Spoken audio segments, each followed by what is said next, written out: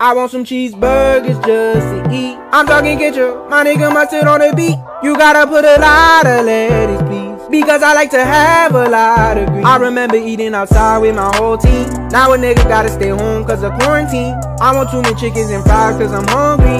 You look broke like my fries, you looking salty.